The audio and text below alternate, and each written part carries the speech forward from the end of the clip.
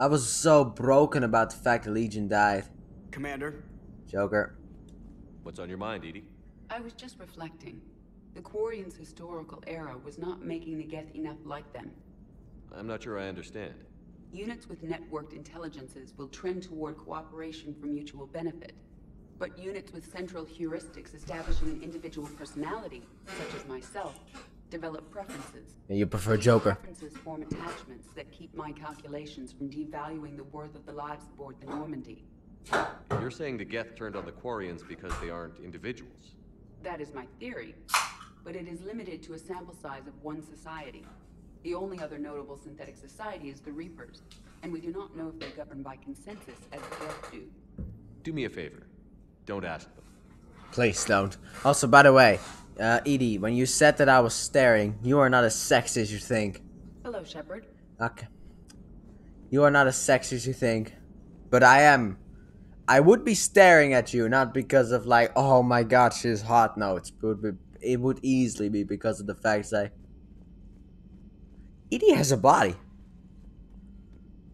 What? Alrighty then, time for party, and then I'm calling it a day. I'm sad we can't land on like planets. Please don't tell me the fucking. Like I'm I'm not continuing on with the storyline until after this. I need to explore the galaxy, get some shit done, and then.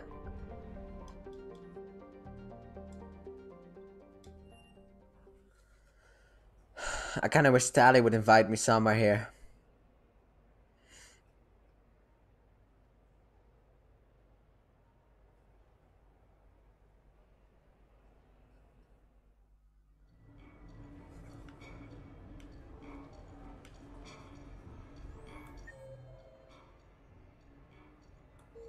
C-Sec officer, what the fuck?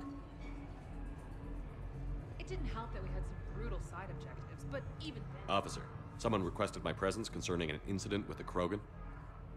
Right this way, Commander. Alright, well, who's the Krogan? No. Don't tell me it's Rex. Oh, wait, no, it's Grunt, I think. Grunt! So, Grunt. Anything you want to tell me about? Uh, this clown wants to take me to lockup. Figured I'd give you a call, straighten this out. Commander Shepard, I apologize for the intrusion. This Krogan insisted we contact you. What It's seems okay. to be. I'll vouch for him. I'll sign any paperwork you have, officer. Yes, sir. What happened? I don't know. Drank a bit, left the hospital, broke a few windows.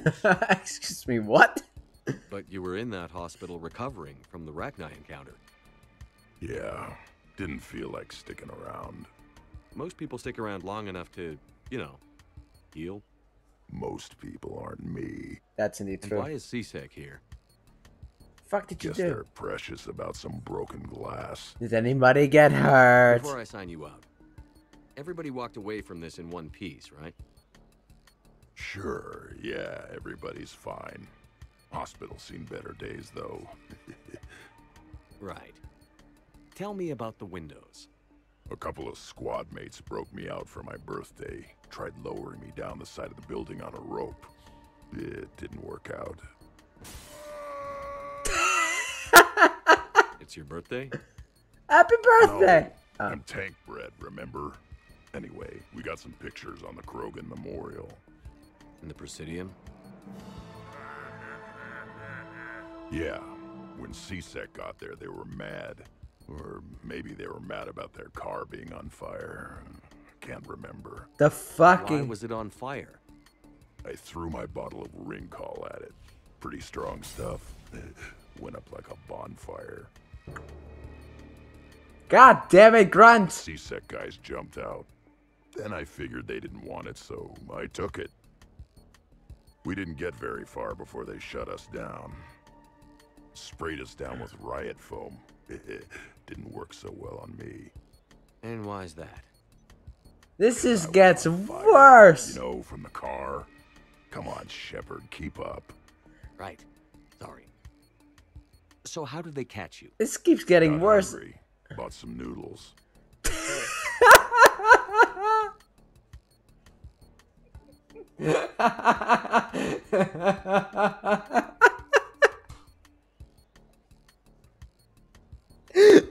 they got hungry. You apologized to the nice man for setting his car on fire. Fine. I'm sorry for setting your car on fire, He's like a fucking child, dude. and I won't do it again. Jesus Christ. now, officer, I can pay for any damages that may have occurred. Except for the fact That's that what you've been signing for, Commander. You're lucky, Krogan. Don't let me catch you up here again. You won't. Thank you, officer. Jesus Christ, Grunt, what the fuck? That was an amazing story, though. So, how were those noodles? A little spicy. Hmm. You're my hero, Grunt. What was that here? oh, God, Grunt, you're the best. Ah, that was funny as fuck. Later, Wait, can I do something here with Tali or not? Or is that just later on? I don't know. Maybe after the party I can still come here.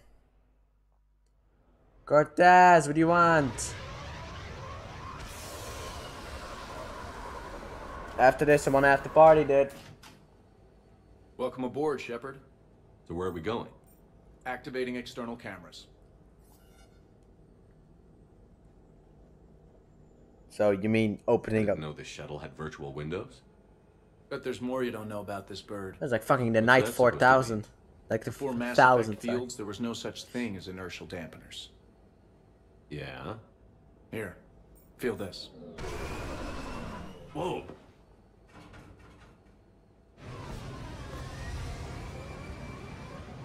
That, my friend, is unadulterated momentum. Want to really feel it? Go for it. Show me. Give me all you got, dude.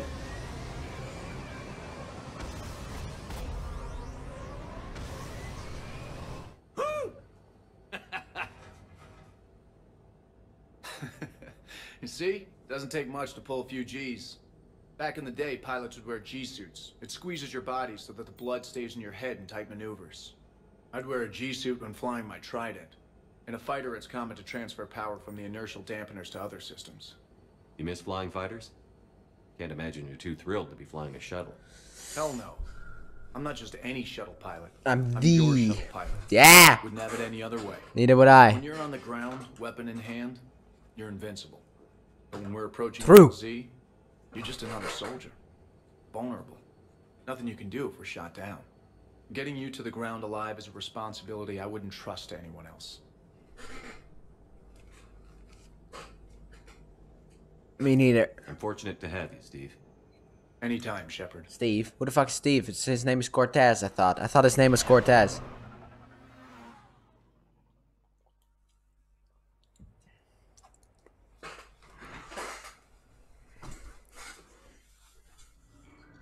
I was a stupid child back in the day, but I mean, I'm still stupid. Like, back when I was a kid, I actually thought that officer, well, then Dutch version, but still, shut the fuck up. Anyway, officer was like their first name. I thought everyone was named officer. Cause like it's officer last name. It's like I thought it was like officer was their first name. Then I learned that that you know that wasn't really true. Alright, I'ma be the life of the party. And I think now I can also invite Grunt, which is good as well. Legion though. This party is for Legion. Swear to God, dude. Alright, first of all save the game. Because I must. Then invite up Tali, Tali, Tali, Tali, Tali, Tali, you motherfuckers. You motherfuckers. Dude, by this time I won't be able to fucking be the life of the party. No! Got like what? Like what? Fucking hell, dude. I want Dali up here. Please tell me later on I can put Dali up. I can bring Dali. Who the fuck is playing my piano? Who's playing my piano? Who dares? I didn't know you could play piano. Greetings, Commander. Oh God, where did you come from? I didn't know you could play. Yeah, Actually, this is the only song I know. I didn't know you had one of Why's those. that? There was always something more important to do. A ruin to uncover, intel to gather, a commander to save. When the fuck did you save me? You couldn't sit still long enough. Actually, it was like once. Could you? Why this song? Is there something special about this song? On one of my first digs, a storm swept in. We were trapped inside. I was so restless. I wanted to get back to work. One of the other archaeologists, Dr. Elena, had this keyboard. She took it everywhere.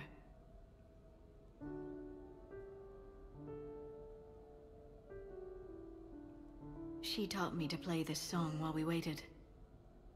It's a good song. Thank you, Shepard.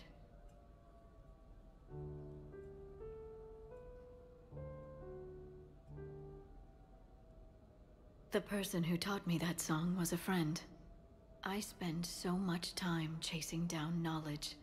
Sometimes I forget that there are things you learn by doing nothing, The fuck? What? by just spending time with the people you care about. Friends.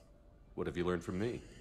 Suppose how to get myself into life-threatening situations on a daily basis. Hourly I am a good basis. teacher.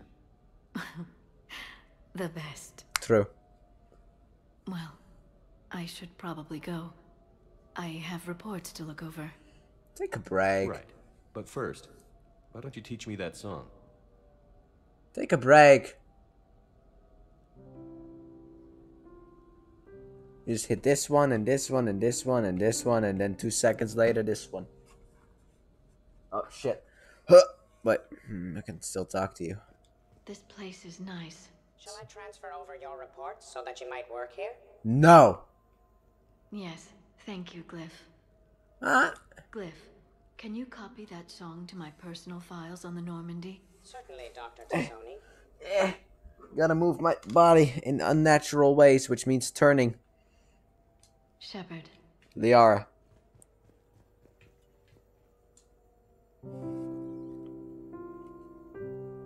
I need to turn off my fucking alarm.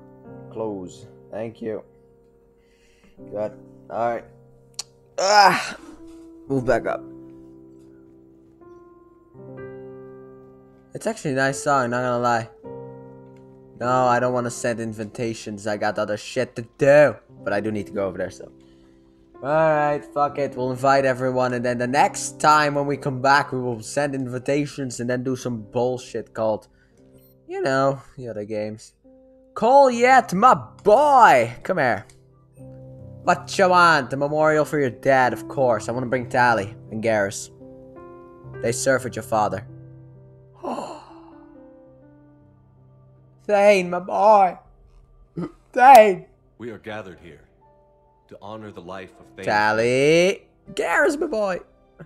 Tali, my Thane girl. touched each of our lives in different ways. The councilor knew him as a hero. The Normandy's crew knew him as a brother in arms, True. and others as a father devoted to his son.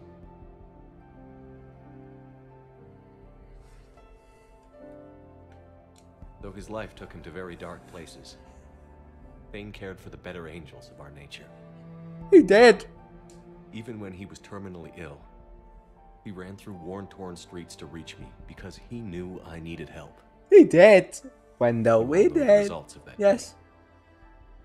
An assassin, a professional criminal, gave his life for his galaxy. And now he can rest. The greatest of us all. Would anyone else like to speak? Kolyat. Now, everybody. Tali, speak. What I remember about Thane. Yes, was come on. Confidence. He told I should've done this about How last. he remembered everything, even every mistake he made. If I did that, I'd be a nervous wreck. Ah, you are slow, and it makes you it so cute. control. Garrus. It's strange, but the last word I'd label Thane with is assassin. And we covered each other in firefights. That makes him a partner. Thane took himself seriously, a trait with which I did not always agree. I tried to make him laugh on several occasions.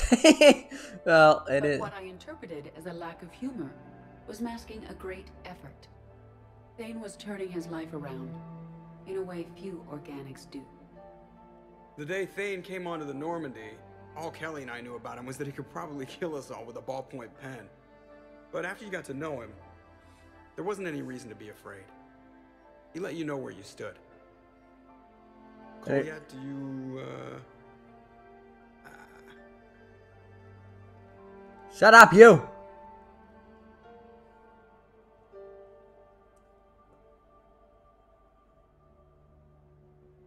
Speak. When I was little, I thought my father had it all figured out.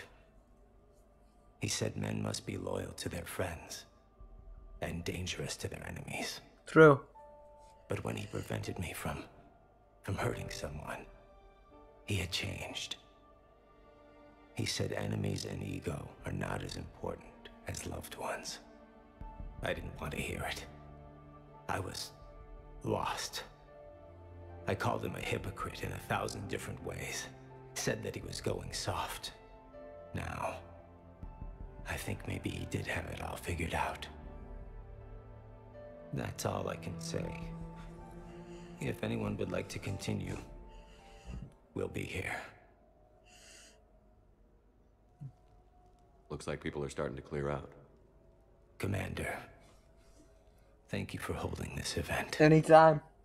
In time, it will be a good memory.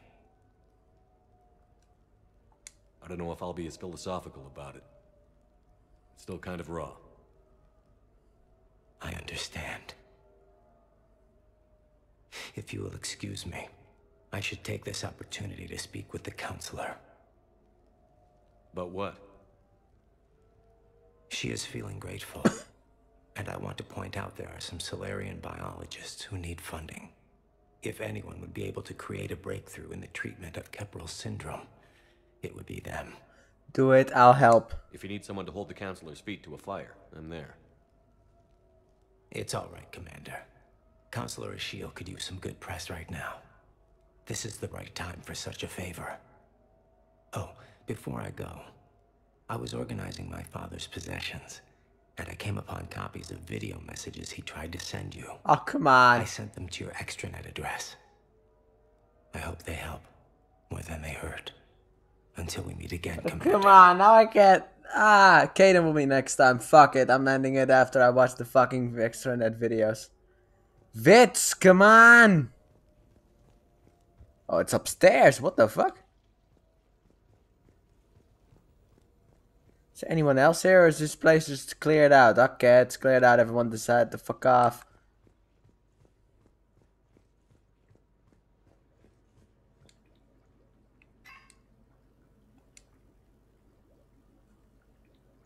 First message. Shepard, I suppose I should thank you for my freedom. Leaving the Normandy was the right decision. It was saddening to see our crew go their separate ways. But it is better than answering questions in an Alliance interrogation room. I hope this message finds you well. As for me, I have moved into an apartment on the Citadel not far from Kolyat. Kolyat. Dang. I think the first attack I had frightened him. I will spare you the details. It seemed very dramatic at the time.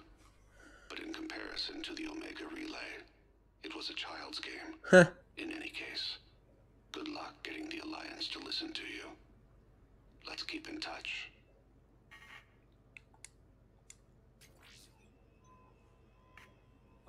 Shepard, if you sent a message back, I didn't get it. I suppose communications from someone of my reputation would be restricted. The irony is, I am a danger to no one these days. I am even paying taxes on my investments. I can't expect Kolyat to do so if I don't. He is doing better. He has no significant other, and he is temperamental. But he is employed and staying out of crime. Good. I can tell he is serious about changing. It has cost him more than a few friends. Send something back if you can, Shepard. I can only learn so much from news reports about you. I wish I could send something back, but I never got these messages. Thane! I have tried a false identity to try to get this message through to you. We'll see if it works. Didn't. I have good news and bad. The good news is that Kolyat and I took a few days to visit Earth. Ah! Light the shade of her eyes. Shrill sound of chirping stops. I scan the ground. See two tiny bodies locked by claws. Excuse me. As I was saying, we saw a beautiful sunset in New Mexico and a scorpion eating a cricket. I wish you could have joined us. I was locked up. is, I had. I fainted and struck my head. Kolyat has convinced me to stay at Huerta Memorial on the Citadel. I will be there from now on. I still don't want to die in a hospital, but it's where the doctors are. And Kolyat. I love him. That means I must trust him. Goodbye, Shepard. Let me say that now, in case I cannot later.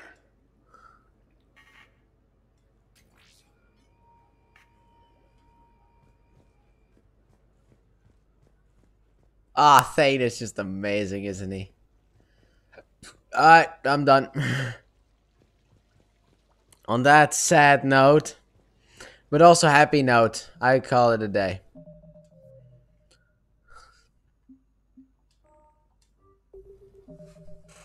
So yeah, thank you all so very much for watching. When we come back next time, we will have the life of the party, hopefully. But with that being said, if you guys have enjoyed and if you did, please like button, subscribe if you know or have not done so already. Turn on notifications, and as always, stay there for more. Bye.